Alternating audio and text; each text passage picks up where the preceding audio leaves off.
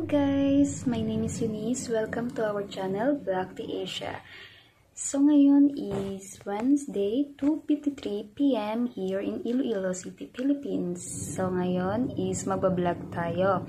At ang topic natin for today is kung paano magiging pula itong labi ko.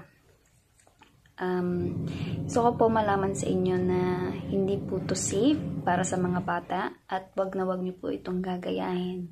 Maliwanag? Um, ito po, ang Martiolet.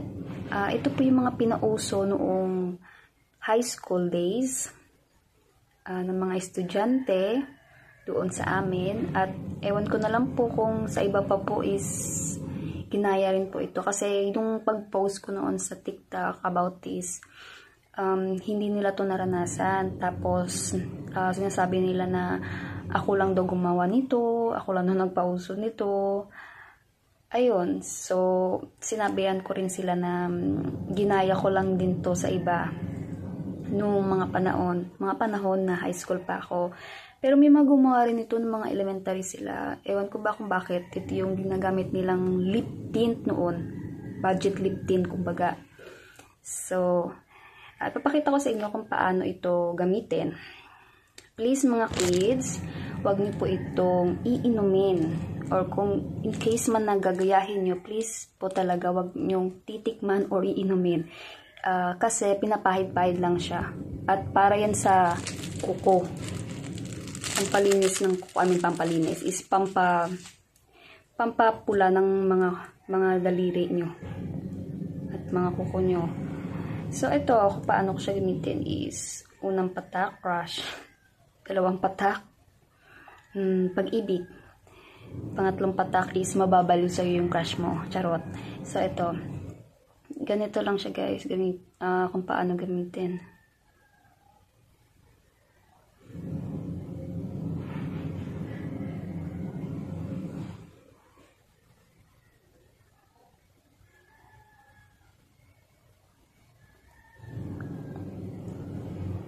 Yung iba, nilalagay lang nila sa labi. Pero yung iba din is, nilalagay nila yung cheek nila para, kumbaga, ma-pinkish-pinkish daw.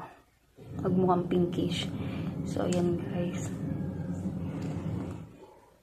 Please, mga kids, wag niyo pong iinumin or titikman. Paid-paid lang, ganyan.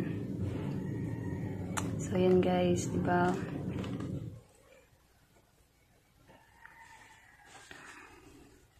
So, hmm, pati na rin yung mga daliri ko is meron na rin kulay. At matagal-tagal itong matanggal. So, kung gusto nyo matanggal agad, uh, hugas-hugas lang palagi. Anytime, anywhere. Charot. So, ayan. Diba? Hmm.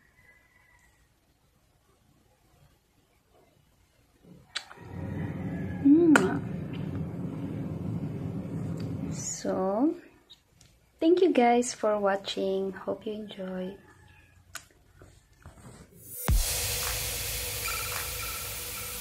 Thank you for watching our video. Hope you enjoy.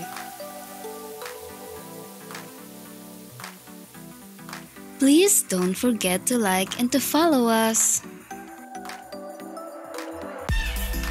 If you want more from Black Asia, just click one of the suggestion videos on the left side.